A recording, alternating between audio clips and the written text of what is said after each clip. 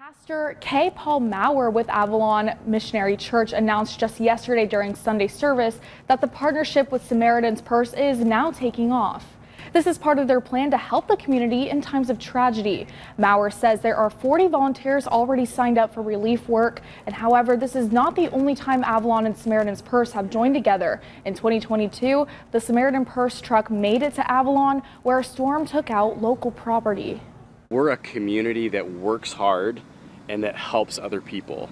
And so this truck is always coming and going when there's storms come, but also a reminder that that's what the church should look like. People always coming and going to help others.